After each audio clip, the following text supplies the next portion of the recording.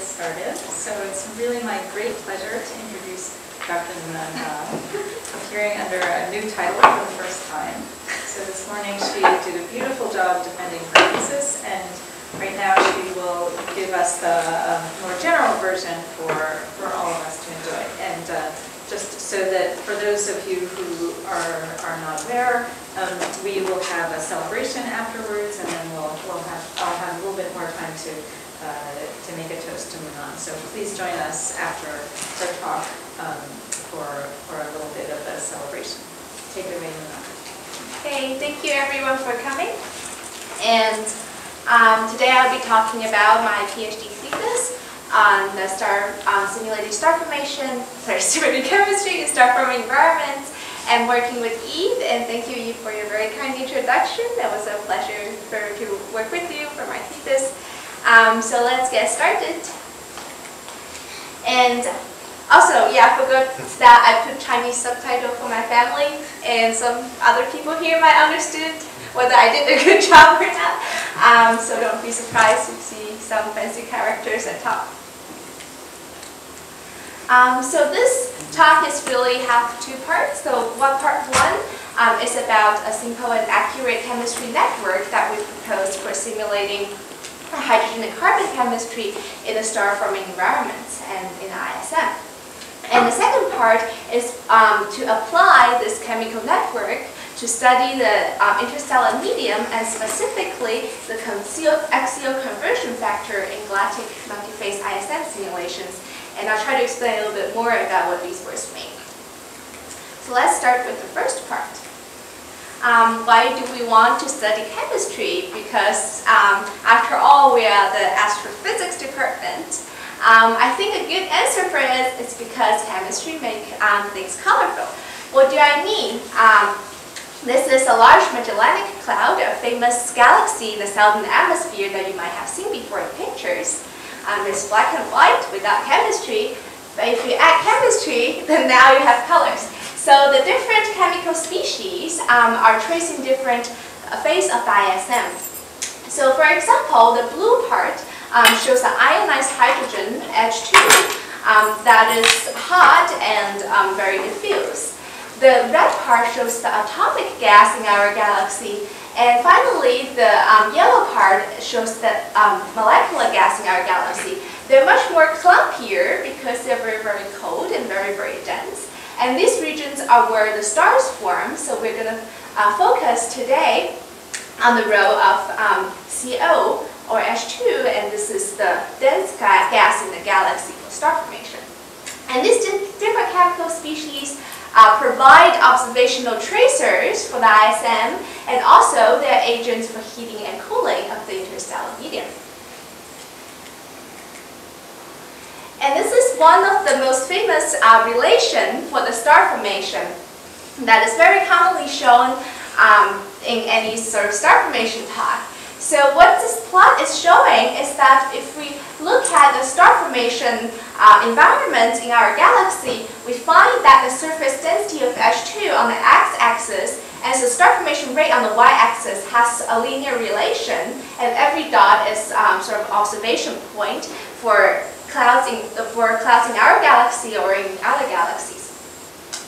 Um, and this means that there is sort of a constant depletion time scale, which is the slope, is slope of 2 giga years. Um, however, I want to note that neither the x-axis or the y-axis are directly observable. Um, the star formation rate is derived from UV and infrared red radiation from the massive stars that's forming. And the x-axis, the surface density of H2, it's actually derived from CO because it turns out it's very hard to measure the H2 because it does not emit at very low temperatures. Um, I think it's a really great time to study the chemistry because now we have um, our observation and simulation at a similar scale and um, so that we could actually start to compare the observations and simulations very well. So on the left here, I'm showing a simulation of a piece of the galaxy, and this is a density plot showing that there's a lot of turbulent uh, multiphase gas in our galaxy. And on the right plot here, I'm showing the uh, molecular cloud survey um, these observations of, of, a big piece of our galaxy as well, with similar scale um, as the simulations and similar resolution as the simulations. So in order to actually compare our theoretical model and our observations, um, we need to have both the chemistry and synthetic observations to actually directly link our theoretical model to the observable quantities. Um, however, it turns out it's actually quite challenging to simulate CO formation. So in your kitchen, you'll be very familiar with the reaction if you burn some carbohydrates, like your stove gas, uh, with oxygen, you form some CO. Um, if you don't burn it completely and then it's poisonous and you don't like it, um, but in the ISM, the formation is much more complicated. It's because if you put the carbon and oxygen atoms together, um, the ISM is very cold, um, it's not very dense, and the collisional rate is so low that the direct reaction rate is very, very low. So in order to form CO, you have to either rely on ions, which will increase the cross-section, or rely on dust grains, which um, act like um, like a sticking agent for the atoms to come in together. So then you can form CO in the end. This is why in the ISM the CO formation is very, very complicated. So you have a network of uh, tens of species and hundreds of reactions to actually simulate the chemistry in the ISM. And we don't like this because it's really um, computationally expensive if you want to calculate this in a large-scale simulation.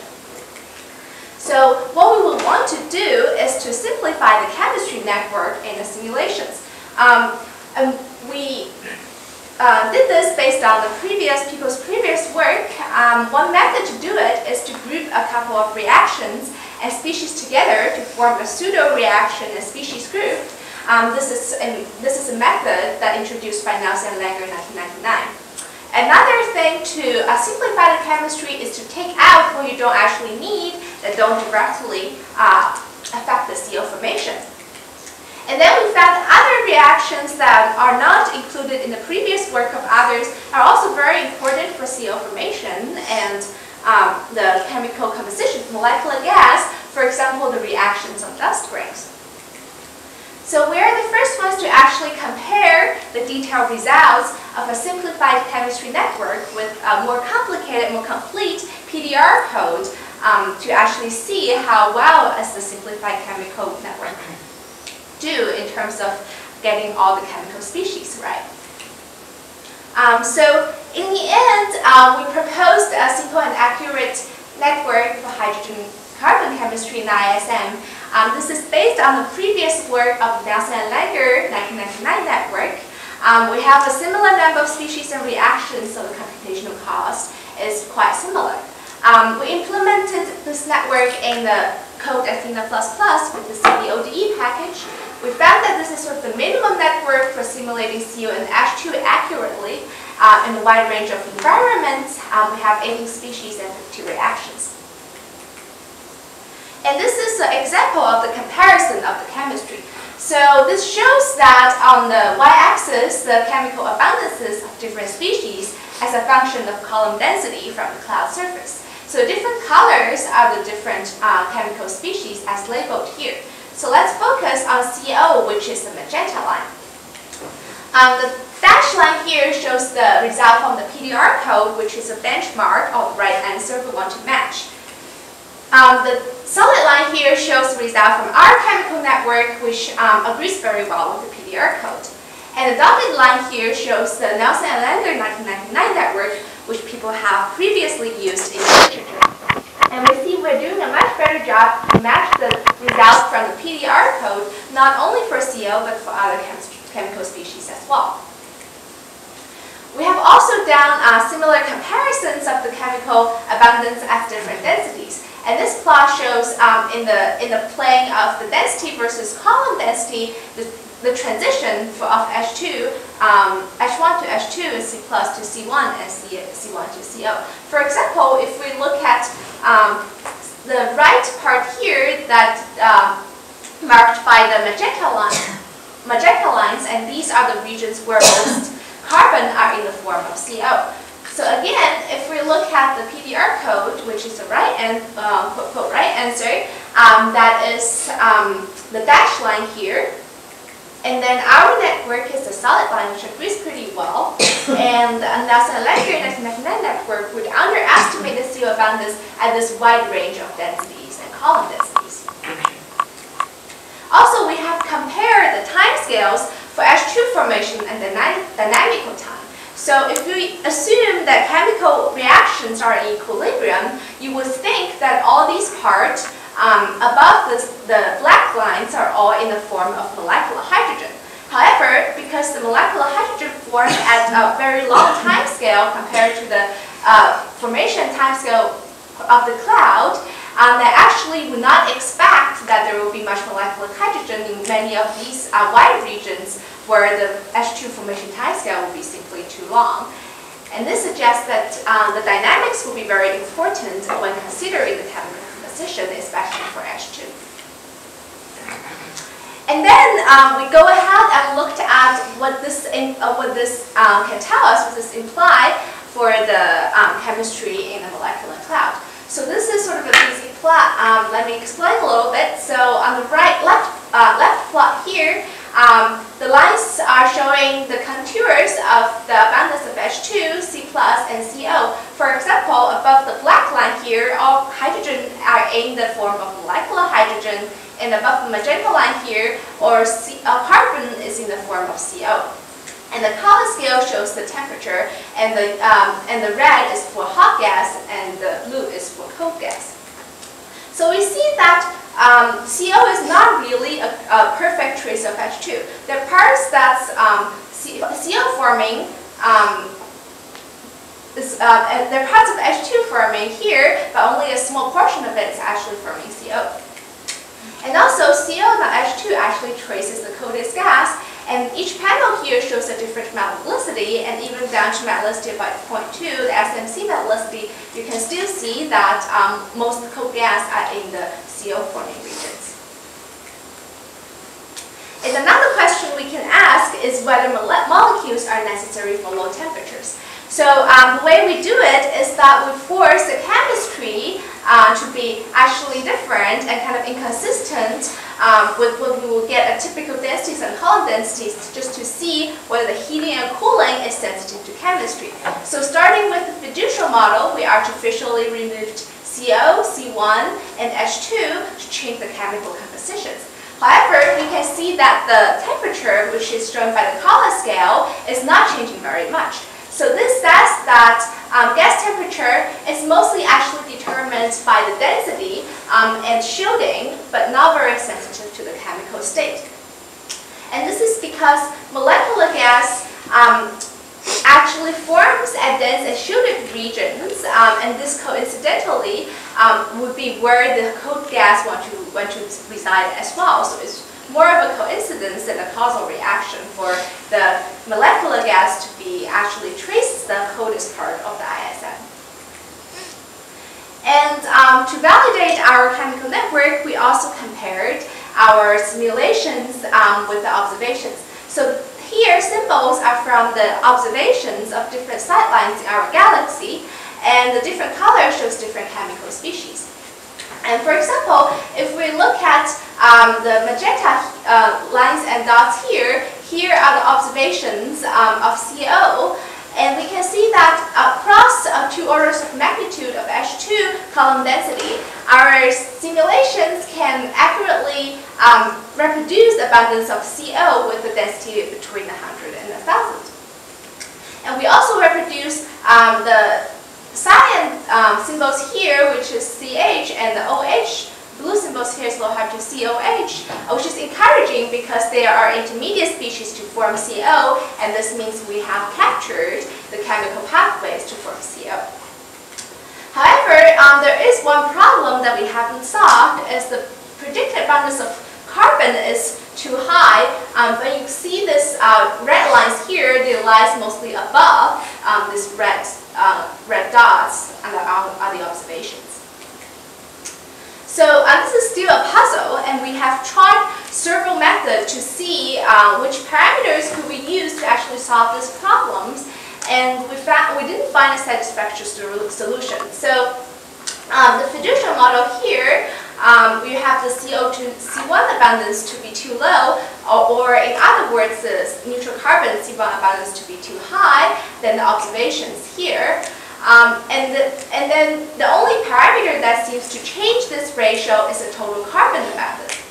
However, if you adjust the total carbon abundance to match the observations of C1, then when you look at observations of CH+, then the red lines um, lies in here, which are way above the observations. So this is sort of a dilemma that um, there's no um, parameters that we have found that actually can match the observations very well. Um, so this, this sort of suggests that either non-equilibrium chemistry has to affect the C1 abundance or maybe there are some other chemical pathways that um, people haven't considered yet will affect the CO1 abundance in the diffuse medium. So it's still quite a puzzle And the summary for part one, um, we proposed to implement a new lightweight and accurate chemical network um, for hydrogen and carbon chemistry um, in ISM. Um, we think that by timescale arguments, non-equilibrium chemistry is potentially very important for the H2 formation. We found that gas temperature is not sensitive to the chemical composition of the ISM, and using 1D slab models, we can successfully reproduce the observed CO, CH, and OH abundances, but the predicted equilibrium C abundances is still too high. And then let's switch to part two, is to actually look at, at some physical quantities um, in the interstellar medium. So what we are trying to study is this um, number called XCO conversion factor. So what is the XCO conversion factor? It's sort of an empirical number that translates observable CO luminosity that's written down here by WCO um, to the physical column density of H2 that's written down on the left of NH2. And XCO is simply um, empirical number that people get from observations. And um, the way to get um, the, the X number of X, the value of XCO in observations is to actually measure H2 directly independent of CO. So there are many methods to do that, including using zero mass methods, dust extinction or emission, or gamma ray and we will do some uh, comparisons with observations later as well. So if we um, cite the most uh, well-cited paper when people try to use the uh, number XCO, then um, what people usually do is they say that in the Milky Way, we recommend a version of XCO equals to 2 times 10 to the 20 with a plus minus 30% uncertainty. And you will think this is not too bad because while plus minus 30% uncertainty is very low by astrophysical standards. However, it's not really that simple. Um, we see a lot of variation actually in XCO for the, uh, for the molecular clouds in the Milky Way. So we found that XCO um, vary by a factor of 10 in different molecular clouds. Um, so this is a this is a, a very well-cited literature of observations of XCO, one of the earliest um, study of XCO, that you can see um, the value of XCO on the, x, on the y-axis vary by about order of magnitude, um, and it depends on the total CO luminosity of the cloud. And also, um, XCO is subject to observational uncertainties as well. For example, for the same Perseus molecular cloud, these two papers gave XCO value differ by, most, uh, by almost a factor of 10. And this is because they have this, um, the different papers adopted different method um, of dust to gas ratio and they considered um, the different amounts of H2, H1 mass in their observations and they deduced quite different results. So there's a, there's a large uncertainty in observations as well. And we know that there is a large variation of XCO in extragalactic observations. So um, XCO depends on the metallistic in, and environment that has been known and observed in many different galaxies. Um, however, the specifics of how and why does uh, XCO do this is not really very well, un well understood. For example, if you look at the observations, which are the gray um, dots here, um, there's a large scatter, but even if you but when you look at the theory, which are the different lines here, there was even a lot larger scatter, especially in the low metallicity regions. Um, theoretical predictions is, is pretty uncertain. The reason why XCO value is so hard to determine is because CO is actually optically thick. Um, using a metaphor, this is like inferring the mass of a building by just looking at the outside brick wall. So how does this work? So if you have a building um, and you try to look at the outside, you infer how much uh, mass it is inside. If you have similar buildings and what you're doing, you're just doing count how many buildings or clouds you have. So the total mass will be just proportional to the total numbers and just be proportional to the surface area or the CO emission that you observe. However, if you have um, buildings at different shapes um, and different um, and like different clouds and different environments, then it's really hard to just judging from the optically thick emission from the outside of the cloud to see what actually was inside. Um, so ultimately, what we want to do is to have theory or simulations to be able to predict the value of XCO in different environments in order to guide observations. And luckily, there are many existing observations in the Milky Way for us to test the theory, and this is what we want to do here. So um, just to talk about our numerical method, so what we did is that um, we take a galactic disk observation um, from the Kim and Ostriker 2016 paper called the TIGRESS simulation. We process it with chemistry to get chemical abundances and then we run the radiation transfer on top of it to get the CO emission, so we will have a synthetic observation map. And just um, to show what the TIGRESS um, simulation looked like, um, so I'm going to show a movie and different panel shows the different physical quantities.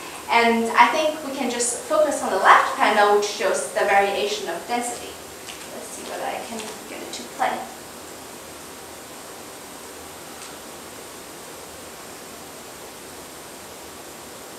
So as the simulation goes, um, the stars form from the gravitational collapse of gas.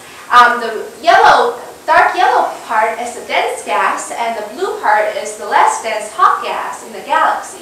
And supernova feedback blow up these bubbles that you can see and create a very turbulent interstellar medium that you're seeing here. And the dense part um, will be the dense gas in the galaxy that we would think where stars will form, and this is where we want to study the molecular cloud formation.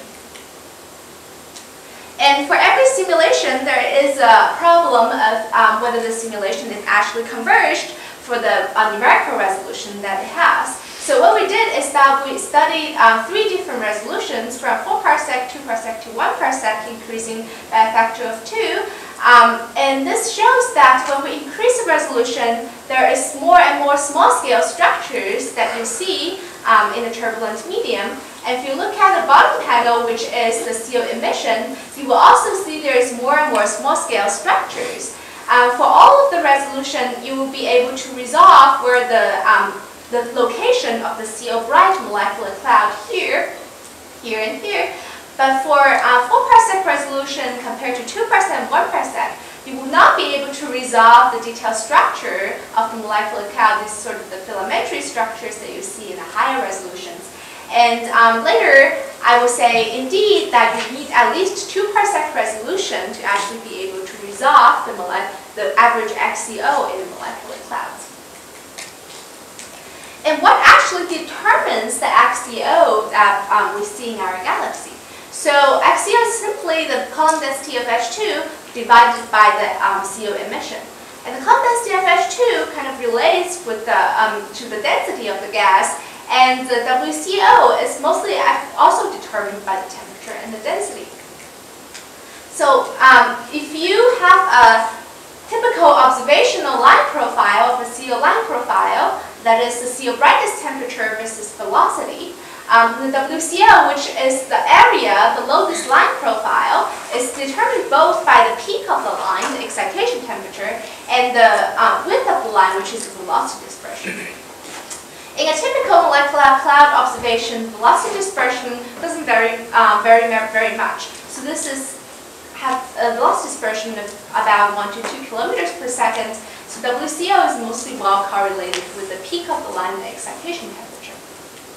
So if you just plug in some numbers of a typical density of the molecular cloud, typical typical excitation temperature and the typical uh, velocity dispersion, then you get a number that's close to the Milky Way XCO value. And then if you want to know what is the WCO in different pixels, um, then the, uh, the thing that um, mostly determines the CO emission, it turns out to be density. So this shows the temperature of the gas and excitation temperature of the gas as a function of density. And we can see that as density increase, when the gas particles collide more often, the excitation temperature of CO is closer to the gas temperature and reaches equilibrium with the gas temperature where the temperature is, where the density is above a few thousand. Um, so because the WCO correlates fast with excitation temperature, it correlates very well with density as well. So this is what the next slide shows as a WCO distribution as a function of density and also column density. And we see that um, indeed, WCO correlates very well with density and less well with the column density. This is because um, WCO is a direct measure of the excitation temperature, um, which correlates directly with density, and column density has a relation with WCO just because column density also has a correlation with the mass weighted density. So we conclude that on um, parsec scales, WCO is actually more fundamentally a measure of mass weighted density rather than the column density, although that's what people use to measure the um, to measure the XCO. And also, at least 2 parsec resolution is needed to resolve most of the CO emission. So if we look at um, the 1D histogram here, it's kind of obvious that um, the 4 parsec resolution simulations, which are the red lines here, has a very different distribution than the 1 parsec and 2 parsec simulations, which have um, a similar distribution and similar peak. This is because the 1 part, sorry, 4 parsec simulation cannot resolve the, the most of the dense gas in the galaxy and will not be able to resolve most of the CO emitting gas. And this leads to um, the question of the convergence of XCO. So if we want to know the average of XCO in a molecular cloud, and that is by some simple math, is simply the average of XCO each pixel weighted by WCO. So this is what um, I plotted here is the histogram of XCO weighted by WCO. And the peak here will be where um, the average XCO is. Again, we can see that 1 parsec and 2 parsec simulations can reproduce the peak um, uh, of the XCO, can have a similar peak of the XCO in the distribution, but the 4 parsec simulation, um, because it cannot resolve much of the dense gas, um, it has a, a shifted higher peak in the simulation. So again, a resolution of 2 parsec uh, is needed to accurately determine the average XCO in the molecular clouds. And then we compare distribution of WCO to the um, observations. On the left here is our numerical simulation, on the right here is the observations. And we can see that the distributions are actually quite similar. Um, at a given AV, the extinction, there's a large dispersion of XCO, so the y-axis has a large dispersion. Um, however, the average value of WCO that is uh, marked by the magenta dots here um, is nearly has a nearly linear relation with um, the x-axis, the column density. Um, or in other words, you have a nearly constant XCO across um, different, a constant average XCO across different AV. Um, this is quite encouraging that we can not only, not only reproduce the average XCO in the molecular cloud, but we can also reproduce the distribution of WCO when compared to observations. And we also have looked at um, the effect of non-equilibrium chemistry. Um, so the left and right plot here shows the abundance of H2 and CO as a function of time, um, we evolved the chemistry from 5 million years to 50 million years and to look at the change of chemical compositions. So we can see that they show a similar trend that the abundance of H2 and CO increases over time during, um, during the simulations. However, the abundance of H2 increases much more than CO. So if you look at, um, compare 5 million years to 50 million years, the abundance of H2 increased by a factor of 3, However, the abundance of CO only increased um, by about 30%. This is because um, we found that CO actually tends to form a denser gas than H2, and the CO abundance will reach its equilibrium faster than H2 abundance because the chemical reaction timescale is much shorter for CO. And this would lead to lower XCO in younger clouds because your CO emission is not changing very much, whereas your H2 abundance um, is changing a lot over time. For younger clouds, we would expect a lower value of XCO. For example, when we compare the XCO value in the molecular cloud at 5 million years um, to the XCO value at 50 million years, they differ by about a factor of 2. We have also studied um, the different snapshot in our simulations to look at the variation of XCO um, in the different ISM evolutionary states. So actually what we found is a lack of um, variation of XCO. So now um, we're plotting the value of XCO as a function of the average CO emission. And we can see that um, the CO emission varies by a factor of a few. However, the average XCO vary only by 30%. And there is a very, very weak relation here. And this is sort of the only relation we found in the simulations we have looked at other quantities, for example, the average extinction in the molecular cloud or the FUV radiation field strength, and we also found a lack of um, correlation. And this is very similar to the trend that found in gamma ray observations that was recently done by the Fermi um, telescope. So the solid line here shows um, the observations, uh, the gamma ray observations. It has a steeper slope, but um, it has a similar sort of similar trend as we found in the simulations. Another thing that does change um, according to the galactic environment is the CO dark H2. So what is the CO dark H2? So we define it as um, the amount of H2 that's, uh, that is not emitting any CO, it's very, very faint in CO, divided by the total mass of the H2. So imagine you have a molecular cloud, the dense part in the center have both CO and H2 and CO emitting, and the uh, outer region you have H2 but you don't have CO, so it's not CO emitting, and we will call this out part the CO dark H2.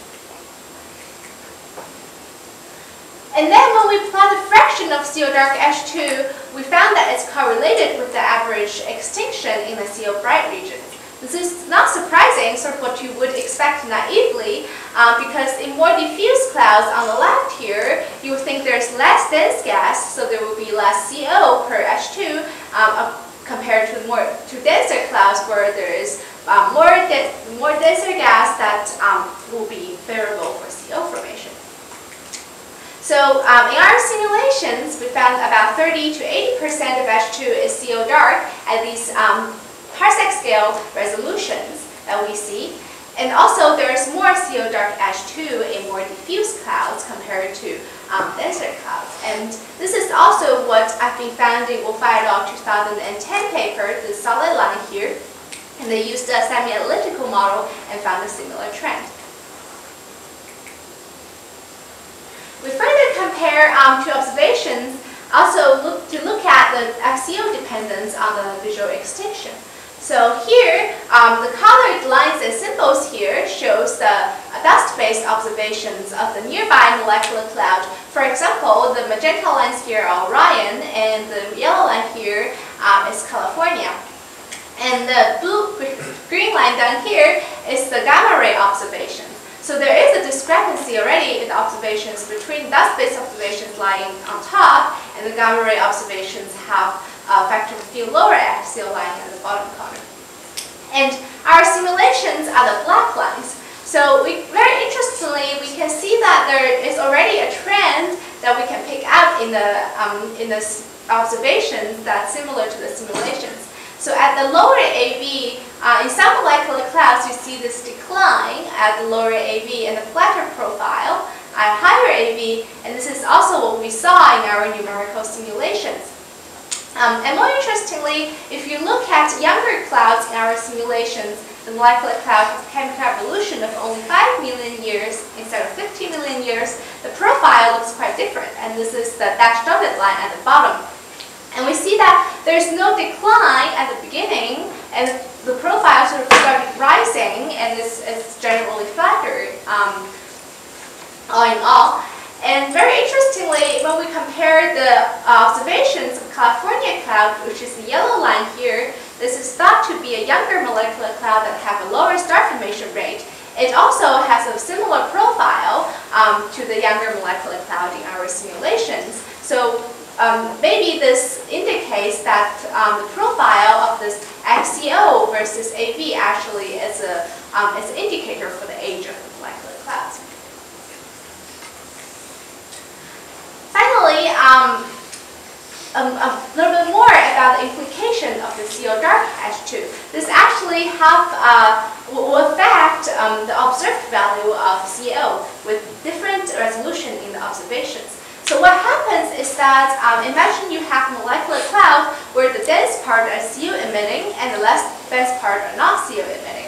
If you have a higher resolution or smaller beam, you'll be able to pick out individual um, parts of CO. Um, so there's more CO dark H2, which you would not count as the CO forming, CO emitting molecular cloud. However, if you increase your, uh, sorry, if you decrease your resolution or increase your beam size, um, then you would not be able to resolve the individual CO emitting part of the molecular cloud, and you would think the whole molecular cloud is CO emitting, and um, there will be less CO dark H2 in your observations. So this leads to the change of the value of XCO, uh, which is simply the um, total H2 mass divided by the total CO emission. Um, if you increase your beam size, then you accounted for more H2 mass. Although the total mass um, in physical mass is still the same in the galaxy, but you are counted more H2 in the CO emitting regions, um, therefore, you would have a higher value of XCO. And this is indeed what we have found um, in our numerical simulations. So we did an experiment of increasing the beam size in our synthetic observations, um, and we, we see that there is an increase of XCO uh, from, the from the beam size of a few parsec to a few hundred parsec. And the profile starts to be a little flatter, has some cutoff. Um, in the end, it's because when your beam size is too large and sometimes you would not be sensitive enough to actually detect some of the diffuse CO emission um, in, in some environments. And um, this kind of sort suggests for the same galaxy, um, if you can resolve the molecular cloud in, uh, in the different parts of the galaxy, compared to if you can resolve the molecular cloud, the XCO conversion factor will be differ by a factor of 2. We try to pick this out from uh, observations, but the scattering of the observations is very large, so it's pretty hard to see here. Oh, get stuck. See whether I can get it work. Oh, cool. So, um, um, so the summary part of um, the second part of my talk is about XCO. Um, to summarize it, we um, found that the XCO in the simulations have some properties that's quite similar to observations. We could reproduce the average value of XCO uh, as well as the um, variation of XCO on smaller scales. Our simulation also could um, reproduce um, the dependence of XCO on the excitation temperature um, and also extinction, um, what the trend was observed in the observations. And about 30 to 80 percent, sorry, I keep pushing this wrong, about 30 to 80 percent of XCO, sorry, H2 is CO dark, uh, which can lead to about a factor of two difference um, in XCO between the Milky Way and extragalactic observations. So finally, I want to um, use the last 10-15 minutes to thank everyone who has also um, helped me through my journey of my PhD. So first, um, I want to thank my advisor, of course, um, Eve Ostriker. She's really, really wonderful to work with, and um, she just paid attention to so much details, and which I'll, I'll just always remember how she will try to get everything right um, and she has supported me during the uh, most difficult time of my PhD my job application and um, very depressing visa issues. Um, and it was and it was great to have to have always have Eve on my back. And also my thesis committee, um, I had a great chat with them this morning. Um, they have been encouraging me uh, during my committee meeting the past four years, um, and they gave uh, me very like very useful suggestions, uh, which I really really appreciated. Um, especially thank Mark, who uh, we ended up writing a paper together, and who traveled um, afar from Maryland to attend um, my thesis defense. Also, um, many, many others I try to list um, in the scientific community. Um, the really awesome Athena++ Plus team, um, Kengo is here, back here, and I learned a lot about programming with them, and it's really a pleasure to work um, with the Athena++ code. Um, it's just so you know, so beautiful compared to some other code I've seen. and um, the TCAM members, especially um, this one, Gu, he's a postdoc here. Um, he's sort of the technical person. I ask questions, and when I don't have the code working, I can't read the data, I can't run my Python script, and he will be always there helping me to solve my problems. Um, and also, my former advisors, just to show the picture, you might recognize this one. Um, he's, Lim, he's going to be here actually for his sabbatical very soon, so you will see more of him, maybe not dressed like this. um, and also many other people in the larger scientific community, which I talk to either in the conferences or through email, um, that have encouraged me to pursue um, the science and also give me very valuable suggestions. Um, and of course, the paid graduate students and postdoc and many of you who have already graduated um, encouraged me to uh, come here in the beginning or else I would never be here. Uh, wrote me a really, really long email, I remember. Uh, and a lot of them took me under their wings when I came. I didn't know anything. They got me started, um, which I'm very thankful about. And many of my friends here, um, you might see a lot of faces that not belong to this department. I'm really grateful that they came for my thesis defense. A lot of them have already graduated. A lot of them will be graduating. Um, and uh, most, um, the community I'm most grateful about is the Princeton University Mountaineering Club. If you're not a member of, you should join. The president is here, sitting right back. and, um, the, um, and the Association of the Chinese Student Association, we, all, we also go mountaineering or hiking as well. Um, and one special thank uh, this dude, um, who uh, answered a, a, lot of my existential crisis questions during our climbing trip. Um, and also, I apologize to the LSST team if I delayed your um, scientific output because I took, because I took Robert climbing. Uh, and of course, this guy who has been here with me for five years, I can't imagine how many candles you can put in a birthday cake. Uh, but um, he took me to many, many places. Um, thank you, Kedron, and he taught me a lot of English, so if I have little grammar um, mistakes in this talk, it's all his fault. but I'm very happy that we'll be able to go to Germany together and hope I'll see a lot of you in Germany.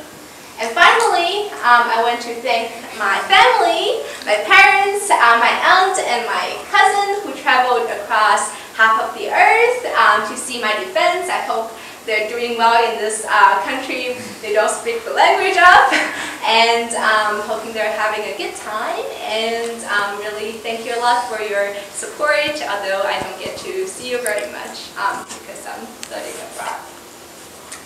And finally I just want to leave my conclusions and take any questions you have.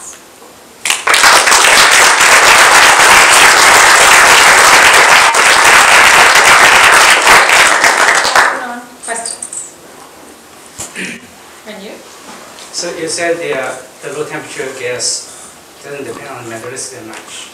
Is that because metal cooling doesn't matter or just so overwhelming that um, in your range, no matter what metal it is, it's always coolest?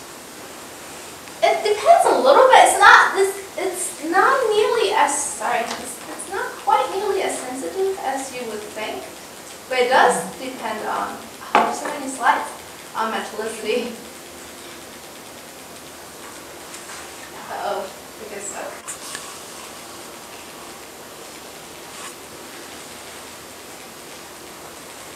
so you're talking about this one, or? Yeah, yeah.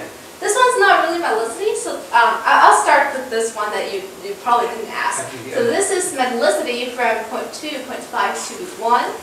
Uh, and then it, there is a difference in temperature. So for example, um, the shielded gas here is, has a higher temperature in low metallicity regions because the cosmic ray uh, heating does not depend on metallicity, but the gas cooling depends.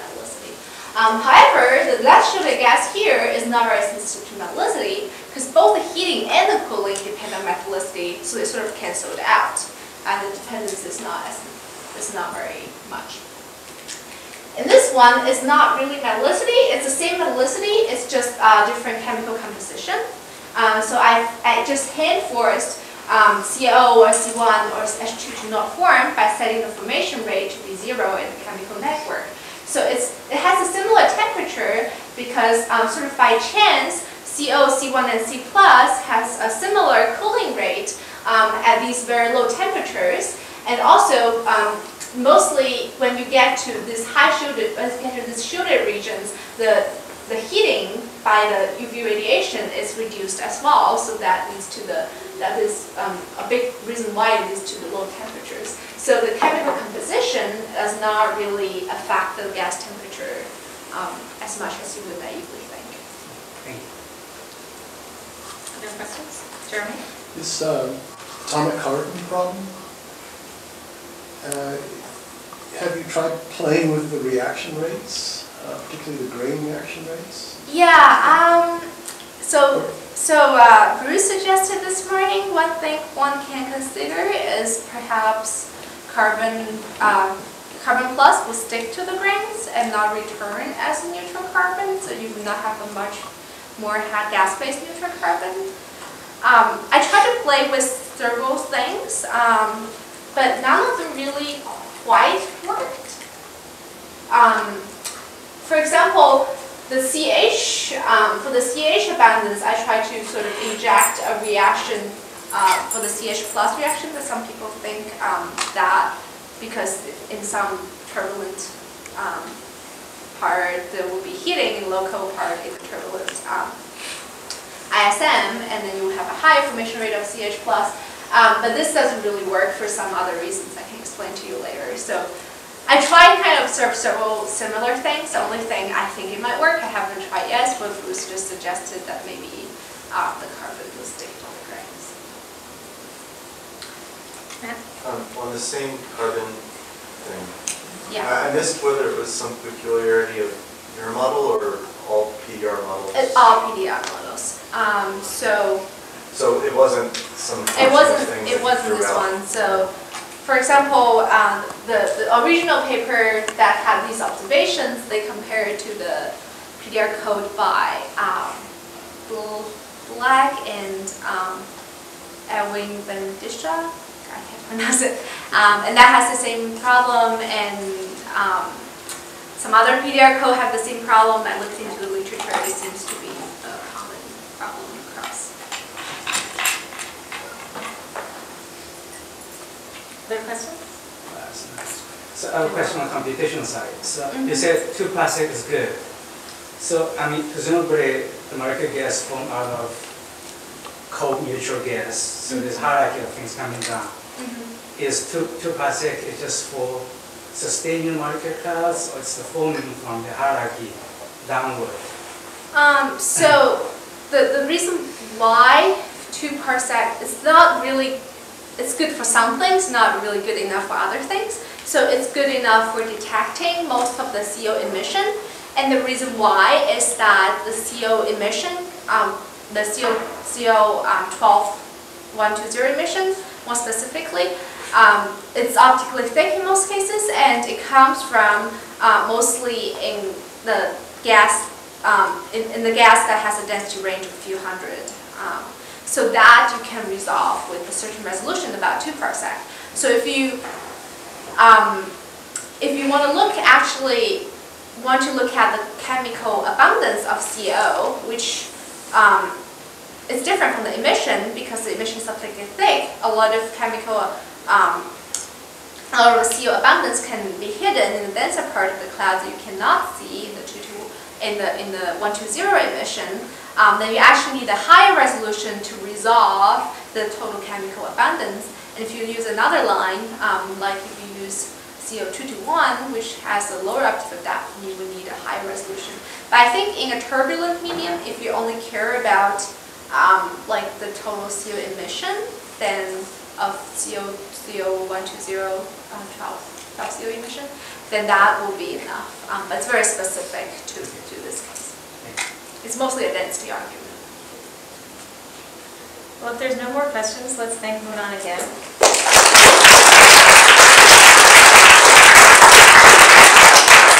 And we will be moving across the hall for uh, a little Thanksgiving celebration you.